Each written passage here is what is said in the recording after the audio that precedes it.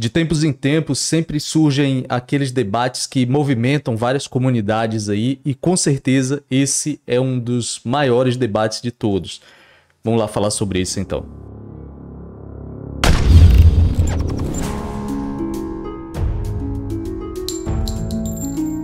Ok. Beleza, guerreiros? Satisfação enorme ter todos vocês por aqui. Eu sou o William Ruff e hoje é dia de falar aqui sobre uma questão que divide bastante as comunidades por aí, que é, afinal de contas, existe uma forma certa de jogar? Pode até parecer uma pergunta simples de responder, mas eu garanto a vocês que não é. Sem falar que é uma pergunta que é bem ampla, né? Porque ela pode ser aplicada a vários estilos diferentes de jogos, e aí os debates também podem ser diferentes, né? Dependendo da comunidade que estiver abordando o debate, o debate vai ser diferente, vão ter argumentos diferentes e tal, até porque cada estilo de jogo tem suas próprias particularidades. Aqui eu vou focar especificamente nos jogos de tiro tático, que é o que a gente aborda aqui no canal, beleza? Então a pergunta basicamente vai ser: existe uma forma certa de jogar os jogos de tiro tático? Bem específico, né, no caso. Então vamos lá falar sobre isso, mas antes você que é um guerreiro novato por aqui, seja muito bem-vindo, já se inscreve aí no canal para poder não perder os próximos conteúdos, ok? E para você que já faz parte da tropa, já deixa o like logo no início aí do vídeo para poder ajudar na relevância, ajudar o YouTube a impulsionar esse vídeo aí e todas as pessoas debaterem mais sobre esse tema espinhoso, né? Boa, 06.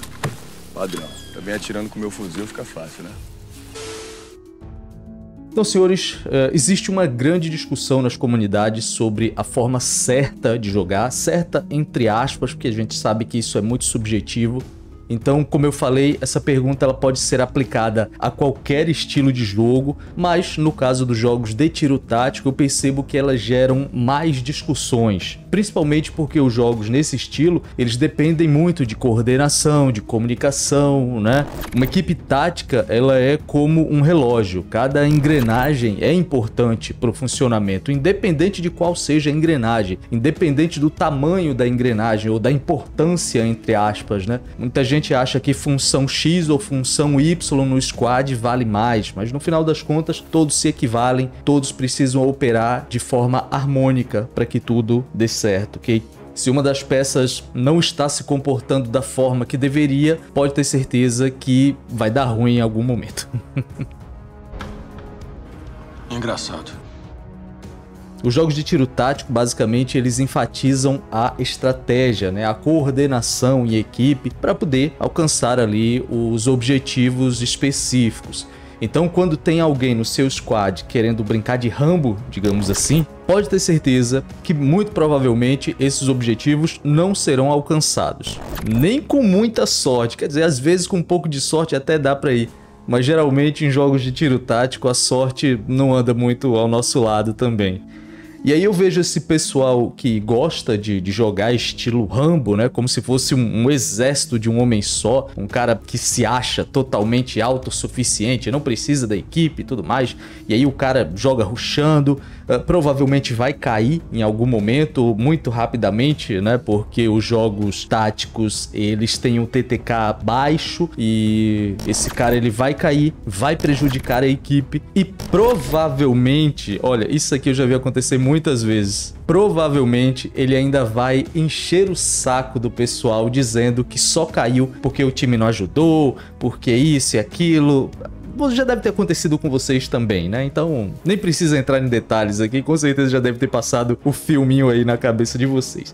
Geralmente, o argumento desses caras, ele se estende, né? Eles dizem que jogam dessa forma porque isso é só um jogo e ah, porque vocês levam isso tudo muito a sério, eu quero só me divertir, então eu jogo da forma que eu bem entender e tal, esse tipo de coisa.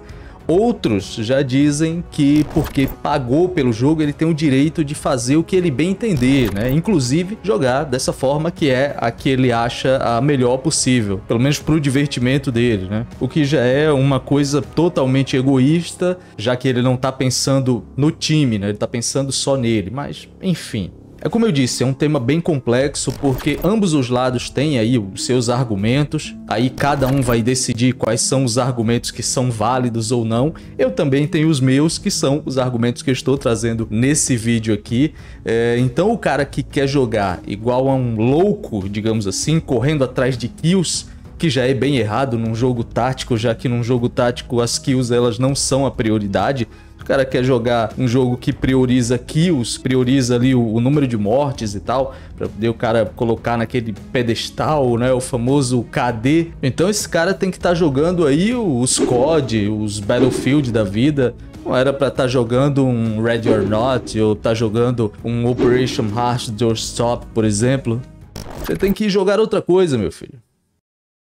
Se você acha divertido jogar dessa forma, e você quer aproveitar o jogo dessa forma, é um direito seu, mas você precisa escolher jogos adequados a essa proposta de gameplay, que é a proposta que você gosta, beleza? Tudo certo. Existem vários jogos de tiro que permitem que você jogue dessa forma, tranquilamente, tem nada de errado nisso, você só precisa mudar aí o direcionamento. Jogos de tiro tático, eles são para quem curte a simulação, beleza? O trabalho em equipe, a abordagem estratégica. Se você não gosta de gameplay lenta, de gameplay coordenada e principalmente de comunicação constante, não gosta de seguir ordens e tal, esse tipo de coisa, esse tipo de jogo não é para você, ok? Simples assim. E tá tudo bem, né? Jogo nenhum é para todos os tipos de público. Cada jogo ele visa atender um nicho específico. Alguns jogos são mais abrangentes que outros, evidentemente, mas nenhum jogo vai agradar a todo mundo, isso é certo, ok? Então vamos voltar aqui à pergunta tema desse vídeo. Existe uma forma certa de jogar? Então, em jogos onde você não precisa de um certo nível de precisão e principalmente de coordenação, beleza, eu acho que cada um pode jogar como quiser e tá tudo certo. Mas existem jogos que são mais cirúrgicos. Esses jogos, eles exigem que os jogadores eles estejam alinhados para que eles consigam chegar ao objetivo. É normal. Imagina fazer uma raid no The Division, por exemplo, ou fazer uma base da unidade em Ghost Recon Wildlands no extremo, sem HUD, em situações assim totalmente adversas. Imagina a dificuldade disso. Se não tiver coordenação, não vai, eu garanto a vocês. Nesses casos aí, cada um tem que saber a sua função e tem que executar da melhor forma possível, senão não vai. Jogos de tiro tático, eles recompensam a equipe exatamente por executar bem essas técnicas, um bom CQB, uma boa progressão tática, uma formação coesa. Se você e sua equipe não estiverem alinhados para fazer isso, pode ter certeza que vai ser uma experiência extremamente frustrante. Pode anotar aí. Então, vamos bater o martelo aqui, né? A resposta para essa pergunta é sim. Ao menos para jogos táticos, né? Em jogos táticos é importantíssimo que o squad esteja preparado para jogar da forma correta para que tudo ocorra bem na missão. Beleza? Então é isso. Não esquece de deixar o like aí embaixo e se você gosta do conteúdo que eu trago por aqui, considere se tornar um membro do canal, ok? Por apenas R$ 7,99 você pode ajudar financeiramente com o trabalho que eu faço por aqui e ainda vai ter acesso a vários benefícios, como destaque nos comentários, por exemplo, nos vídeos, nas lives e tudo. Vai ter acesso ao nosso grupo exclusivo de membros para que a gente possa conversar em tempo real, ok? Enfim, várias outras coisas clica aqui embaixo no botão Seja Membro, faça parte da nossa tropa, beleza? Forte abraço a todos, foco na missão e até a próxima.